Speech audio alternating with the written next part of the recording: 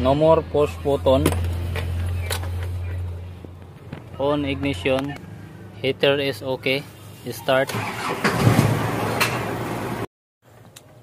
Hello magandang araw sa ating lahat.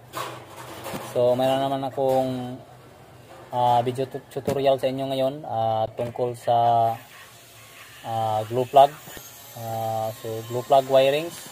So paano ba uh, mag wirings ng glue plug kapag uh, yung sasakyan nyo ay sira na yung uh, glue plug timer. Kasi may mga timer kasi lang mga glue plug. Paano pag nasira na yon wala nang timer ang sasakyan nyo. So yung iba ang ginawa nila ng wiring sila ay ginamitan nila ng push button. So gaya nitong sasakyan na uh, ginawa natin ngayon. Dito dito to nakalagay. Ito so yung wirings niya ito may wiring sa silalim. Ginawa nila kasi wala nang timer uh, naggumawa sila ng push button. So ngayon magtututorial sa inyo kung paano mag wirings ng glue plug na hindi gumagamit ng uh, push button kahit na uh, walang timer yung sasakyan nyo. Uh, nasa uh, ignition switch pa rin yung uh, heater nyo. Uh, parang walang nangyari sa mga hindi pa nakasubscribe dyan sa youtube channel natin ay mag-subscribe na kayo kasi uh, ang YouTube channel natin ay kasi simula lang at kailangan natin ang mga suporta ninyo. So sa mga mag-subscribe dyan, uh, maraming salamat. Original kasi nito ay may timer to sa glue plug kaya uh, yung original uh, kapag nag-on ka ng ignition switch so mga ilang seconds lang ay uh, kusang nag-turn off yung glue plug So, nasira na yung timer niya kaya ito na ang ginawa nila. Uh, naglagay na sila dito ng push button.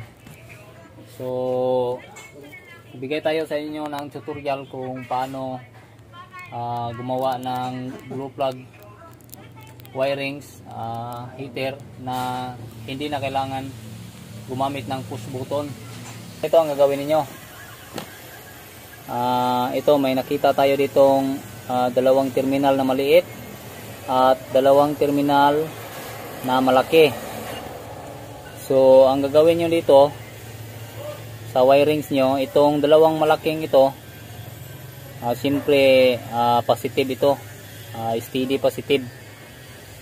So itong isa ilagay nyo sa steady positive uh, kayo nang bahala kung saan nyo ilalagay. Basta dapat doon nyo ilagay sa malaking uh, supply. Pwede sa uh, direct to battery o di kaya uh, basta steady positive siya. Doon mo siya i-connect itong isa. Saka itong isa naman kasi dalawa to uh, kahit saan dito ang ilagay mo pwede naman itong magkapalit. So yun yung isa. So itong isa uh, lagay nyo ito sa uh, glue plug nyo. Doon sa my engine doon sa glue plug. Uh, glue plug terminal yung mga wirings doon. So dito yung nakakabit yung uh, output na uh, wire doon. So ito yon so okay na tong dalawa. Uh, pag nakabit nyo na tong dalawa steady positive tong isa saka itong isa ay doon sa glue plug so punta tayo dito sa maliliit na dalawang terminal.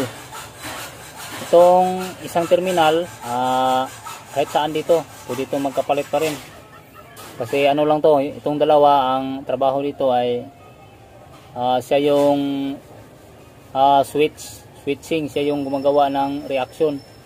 So positive negative ang ang nakalagay dito. Uh, itong isa positive at itong isa negative uh, ito kasi yung uh, nagre-react pag may nakalagay na positive at negative. So itong dalawa ay uh, magko-connect. Kasi sa ngayon wala hindi pa ito nagka-connect. Pag may kumpleto na ito na mga supply saka ito magkadugtong magkadugtong na ito. So itong isa si dalawa to itong isa lagay mo ito sa uh, ignition switch.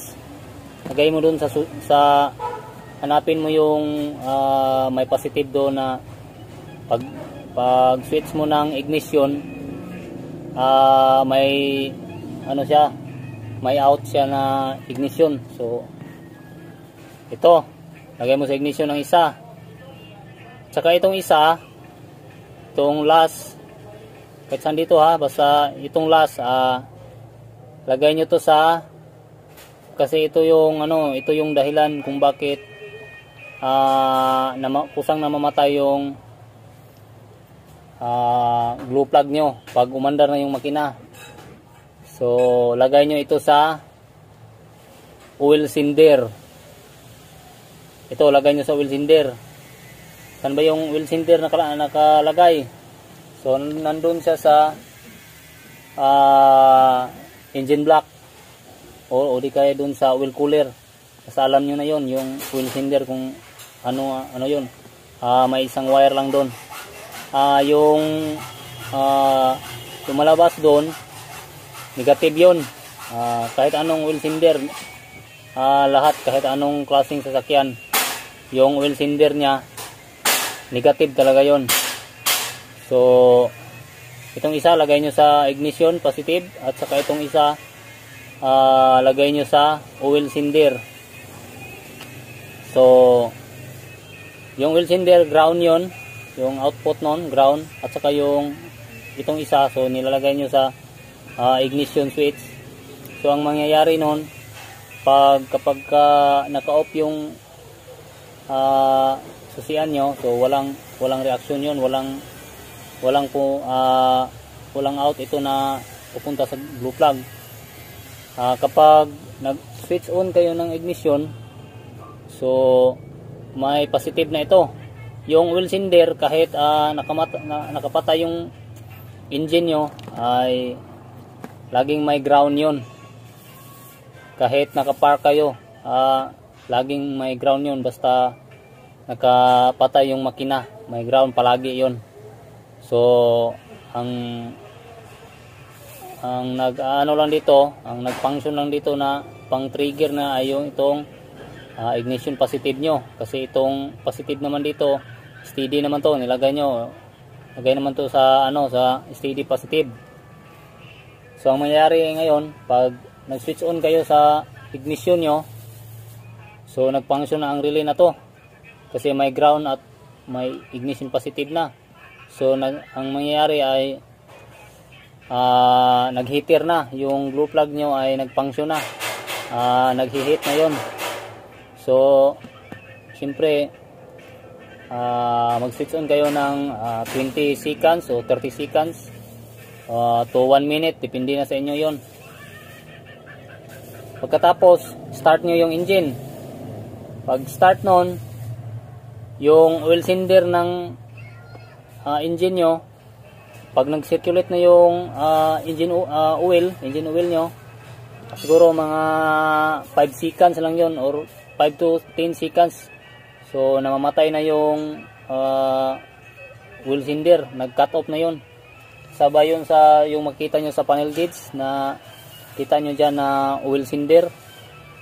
Yan yon so pagka under nyo, nung engine nyo mga ilang segundo lang ay namamatay yon pagkamatay nun ito naman magsha-shut off naman to kasi yung ground niya na galing sa wheel cylinder ay mawawala. So yon ganun ang mangyayari.